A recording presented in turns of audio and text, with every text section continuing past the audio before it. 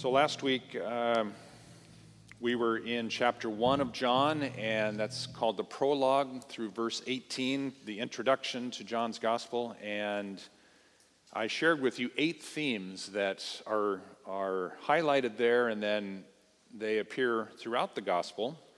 And so we see some of those themes in chapter 3 in this conversation between Nicodemus and Jesus. For example, um, there's a reference to creation.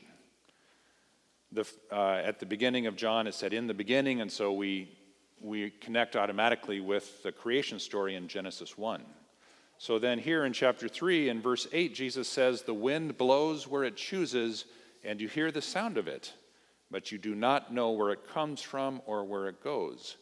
So it is with everyone who is born of the Spirit. And so that might remind us of the second creation, or of the creation story back in Genesis 1 in verse 2. It says, Now the earth was formless and empty, darkness was over the surface of the deep, and the Spirit of God was hovering over the waters. And so the same word is used um, either to mean wind or breath or spirit. And we find it back in Genesis, we find it also here in chapter 3 in John. Another is the origin and the identity of Jesus. And so Nicodemus comes and he opens his, his questioning by saying, Rabbi, we know that you are a teacher who has come from God. So, origins. For no one can do these signs that you do apart from the presence of God. So, uh, Nicodemus doesn't really understand what he is saying, but he speaks the truth about Jesus' origins. You are from God, but then he doesn't understand completely as he doesn't realize that Jesus is the real presence of God in our midst, God with us. There's also the theme of light and darkness, where Jesus says, The light has come into the world, and the people loved darkness rather than light. And finally, there's relationship, where Jesus says, No one can see the kingdom of God without being born from above, or maybe we have heard it translated born anew or born again. He's talking about our being a child of God. It's a relationship.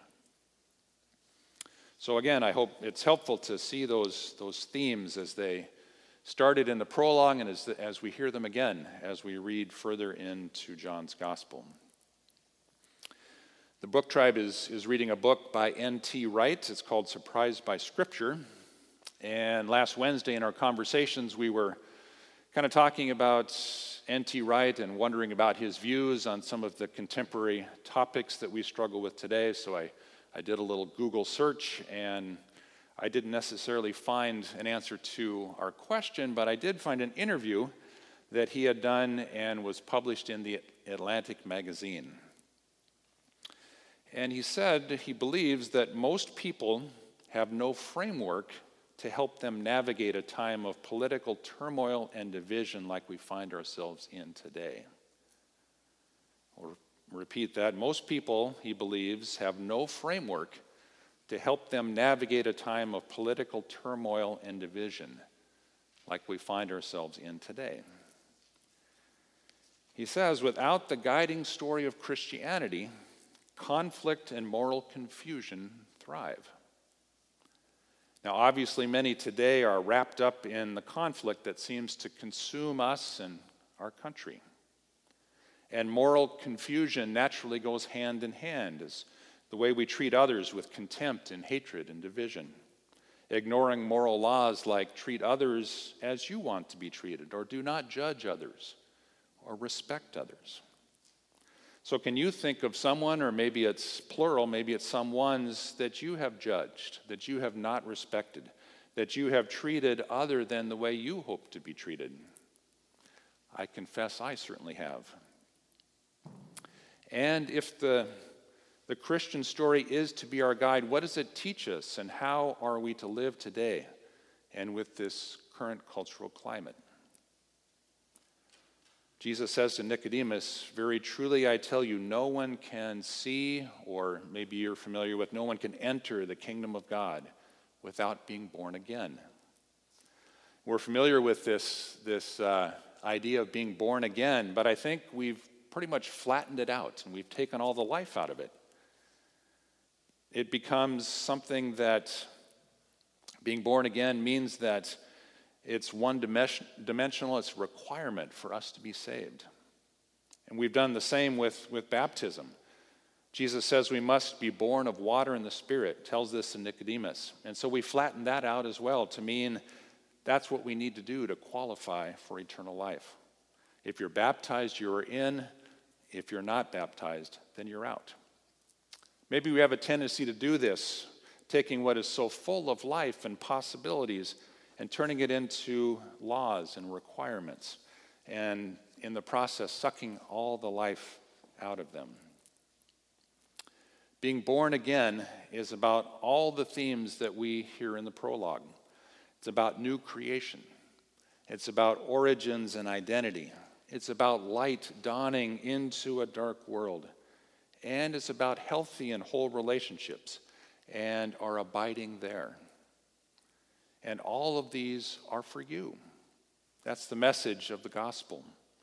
This is about literally becoming a child of God with a new identity and a new name, a new family, and a new life.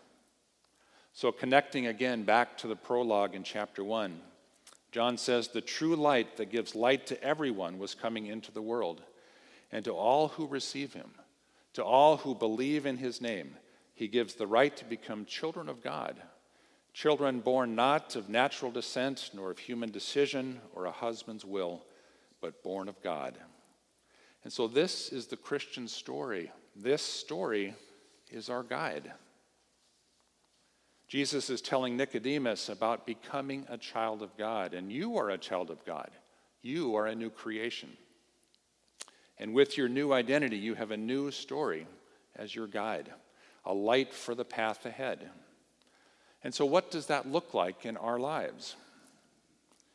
I admit I can think of, of someone I can move toward in relationship instead of remaining kind of standing back and remaining aloof, to cultivate that relationship and to seek, seek to abide, abide there. How about you? Is there someone that you can forgive, a wrong that you've, you've experienced? Is there someone from whom you need to be forgiven? Who do you judge based on differences rather than finding what you share in common? And developing a relationship based on what you share instead of where your differences are. And you have a relationship in spite of your differences. Now, it's true we are embroiled in a time of political turmoil and division.